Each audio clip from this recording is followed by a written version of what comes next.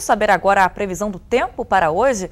Veja os detalhes no mapa da Somar Meteorologia. Nesta terça-feira, o sol brilha com força e não tem previsão de chuva. Mas à noite as temperaturas caem. Hoje à tarde, as máximas chegam a 26 graus em São Bento do Sapucaí e em Jacareí, a 28 graus em Ubatuba e a 30 graus em Guaratinguetá. A Prefeitura de São José dos Campos realiza uma campanha para ensinar os moradores a utilizar corretamente os botões em semáforos. Confira. Ele muitas vezes é esquecido pelos pedestres, mas o botão que aciona os semáforos é fundamental para a segurança de quem anda a pé. Agentes de trânsito de São José dos Campos foram às ruas para orientar as pessoas nos principais cruzamentos da cidade. Agora, esta família aprendeu que antes de atravessar a rua é preciso acionar o aparelho. Quando for para atravessar, é importante apertar o botão, porque tem um cruzamento e tem moto que às vezes pode virar né, ali e é atropelar o pedestre. A ideia da campanha surgiu após solicitações recebidas pelo telefone 156. Em algumas situações, muitos moradores desconheciam a utilidade do equipamento e alguns achavam que havia ligação com a rede elétrica e por isso evitavam tocá-lo. O funcionamento é simples. Ao apertar a botoeira, todo o sistema de sinalização é alterado para que haja a possibilidade das pessoas atravessarem a rua com segurança. Caso isso não seja feito, a luz ficará sempre vermelha para o pedestre. O sistema de semáforo no cruzamento ele é montado e calculado e quando se tem a botoeira precisa apertar para que o ciclo de tempo possa dar para que o pedestre atravesse, né? Em alguns cruzamentos, se não apertar a botoeira, se não apertar o botão, o tempo de semáforo dele nunca vai abrir, sempre vai ficar no vermelho. Então é importante para que ele atravesse de forma segura, aperte o botão. Ainda tem pessoas que ainda têm dúvida, por isso que nós estamos fazendo essa campanha para explicar a todo mundo, a todos os pedestres, a importância dele apertar o botão para atravessar de forma segura. Atualmente, São José dos Campos conta com cerca de 300 aparelhos instalados em cruzamentos com grande fluxo de veículos e próximo a locais de movimento, como escolas e parques. Alguns equipamentos contam com a leitura em braille para ajudar os deficientes visuais. Dona Maria Aparecida sabe que o respeito às leis de trânsito salva vidas. Ótimo! Tudo que for para segurança de criança, pedestre, adulto, né? Vale a pena. Vale a pena investir porque, olha, está muito perigoso.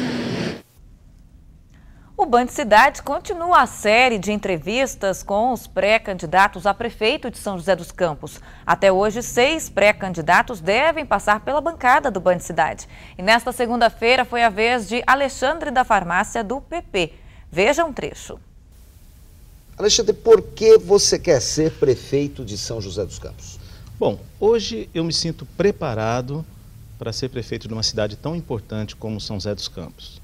Eu estou no meu quarto mandato como vereador, fui presidente da Câmara Municipal, nasci em São José dos Campos, conheço os problemas da nossa cidade, mas é importante fazer uma ressalva. É, hoje eu sou primeiro suplente de deputado estadual, devo assumir uma cadeira na Assembleia Legislativa em breve, e, e isso pode é, mudar o rumo dessa nossa decisão. Até porque nós tivemos, agora em 2010, cerca de 70 mil votos. Então, através de uma pesquisa da opinião pública, nós vamos procurar saber a opinião da população, porque eu acho que não, nós não podemos faltar com respeito com o eleitor, porque se a população perceber que é melhor que nós assumimos na Assembleia Legislativa, poderemos, por exemplo, abrir mão dessa candidatura.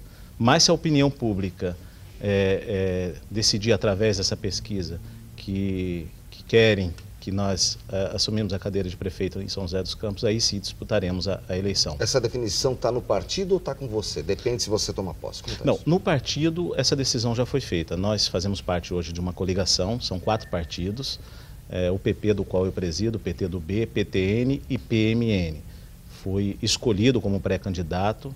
Temos lá hoje 84 pré-candidatos a vereador, mas o que nós vamos fazer essa avaliação agora, principalmente no, no mês de junho, antes da convenção, é exatamente com a opinião pública para saber o que a população espera. Como é, o meu trabalho é servir a população, poderemos sim é, é, sair a candidato a prefeito ou uh, assumir uma cadeira na Assembleia Legislativa. Bem, caso o senhor vá à Assembleia Legislativa em São Paulo, ainda falando de política, esse grupo já tem um plano B? Estaria com que grupo? O senhor é da base de sustentação do PSDB? Sim, uh, nós temos hoje vários partidos da base de sustentação, cada qual está apresentando o seu nome, e agora entraremos numa segunda fase de discussão, escolher qual o melhor nome. Na realidade, os partidos já escolheram o melhor nome dentro da sua legenda. E agora vamos escolher o melhor nome para São José dos Campos. Eu sempre defendo que nós precisamos é, deixar as vaidades políticas e os interesses partidários de lado e escolher o que for melhor para nossa cidade. Então, nesse segundo momento, a discussão será de, dos nomes apresentados dos partidos, qual o melhor nome para administrar São José dos Campos. Seis pré-candidatos à Prefeitura de São José dos Campos serão ouvidos pelo Band Cidade até hoje. Nesta terça-feira será a vez do pré-candidato Cristiano Ferreira do PV. Essa é a cobertura do Grupo Bandeirantes de Comunicação nas eleições 2012, para que o eleitor defina da melhor maneira o voto. E veja a seguir: investimentos na saúde e para a área de transporte são discutidos no primeiro encontro do Conselho de Desenvolvimento da Região Metropolitana. Já já os detalhes. Agora, 1 e 8, a gente volta daqui a pouco.